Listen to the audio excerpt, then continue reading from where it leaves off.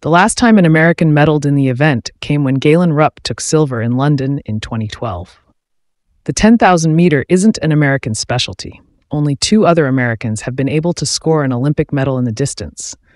Louis Tewanima earned silver back in 1912, and Billy Mills won gold in 1964.